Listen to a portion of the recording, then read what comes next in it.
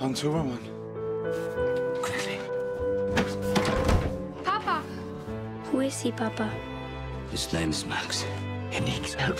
Are you hiding from Hitler? Yeah, I'm a Jew. I brought you something. You're full of wonders. You're stealing books? Why? When life robs you, sometimes you have to rob it back. You're hiding someone, aren't you? If anyone saw him, they would take you away from me, and they cannot tell you what they will do to him. I'm afraid. The chicken basement. Mama! What is this about? Max! Max!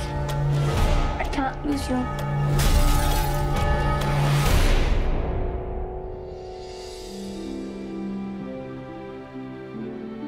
You've kept me alive, Liesel. Don't ever forget that.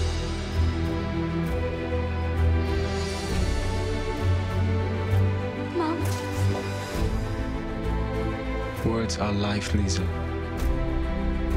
If your eyes could speak, what would they say? There once was a girl Who had a friend that lived in the shadows.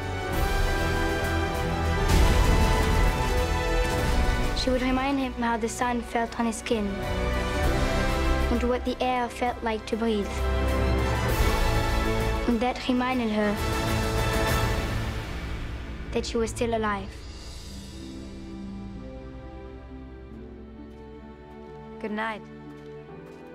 Book thief.